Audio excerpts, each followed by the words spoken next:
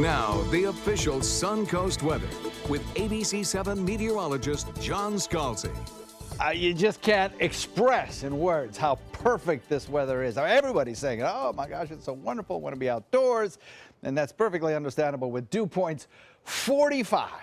Uh, it, it, it, has been, you know, eight months since we've seen 45 degree dew points. Love it. Absolutely love it. Air temperature coming in at 79. Plenty of sunshine out there, full wall to wall sunshine right now. So even as those temperatures climb up into the lower 80s with dew points of 45, I mean, you're not going to feel hot. It's going to be comfortable. And at night, the temperatures kind of fall off pretty quickly and gets to be cool and crisp at night. So beautiful sleeping weather as well.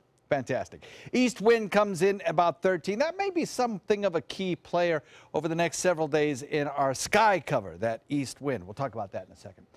74 degrees in Wauchula, 75 in Arcadia, Myakka, 74 Parrish at 74, 74 Bradenton and Lakewood Ranch. Northport's at 75, Punta Gorda's at 78, 74 in Venice, 73 in Englewood.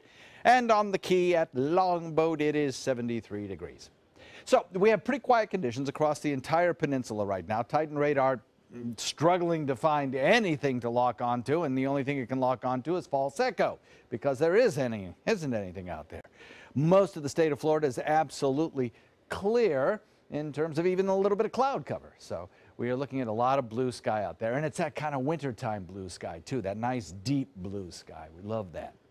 As far as cloud cover goes, over on the other coast, you know what? Off in Atlantic waters, there's a little bit of cloud cover there, and I think over the next several days, what we're going to see are the wind speeds start to increase. And that could take some of the cloudiness over on the other coast and kind of whisk it back in this direction. So we might see an increase in our cloud cover starting tomorrow, uh, Saturday for sure. And also, we have a frontal boundary that's approaching. Right now, going to produce a lot of snow showers for parts of the northern tier on up through the western Great Lakes. And a line of showers begins to develop in advance of that front. Now, that line of showers is going to dissipate before it reaches us. So we don't really have to worry about that. But as that front gets closer, our winds are going to pick up. And in fact, at times, they're going to be darn right windy. I think we could see some 20 knot winds, you know, 20, 24 mile per hour winds around our region, sustained, and gusts even higher than that. That'll probably come on Saturday. The reason? That's a potent cold front that's approaching. But for today, more sunshine, lower humidity, slightly warmer temperatures. That's true today, that's true tomorrow, probably true on Saturday as well. Now, wind direction is going to be important. For a time, it may shift a little bit to the west, then it'll shift back to the north over the weekend.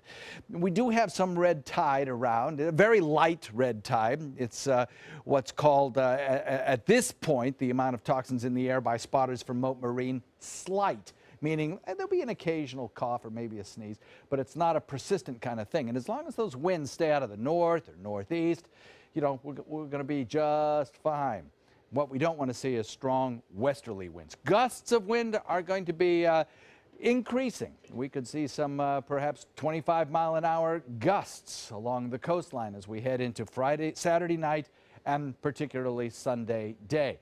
That's because there's some cooler weather coming. You'll see that in the extended range forecast. Today, nice day on the waters. A 10 knot wind, maybe surging a little in the afternoon, but two foot seas and a light chop with that northeasterly component. Then watch what that wind brings us on Sunday. Nighttime lows in many places will be in the 40s.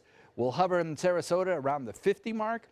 Daytime highs will be in the upper 60s. That sounds pretty good to me, though, Scott.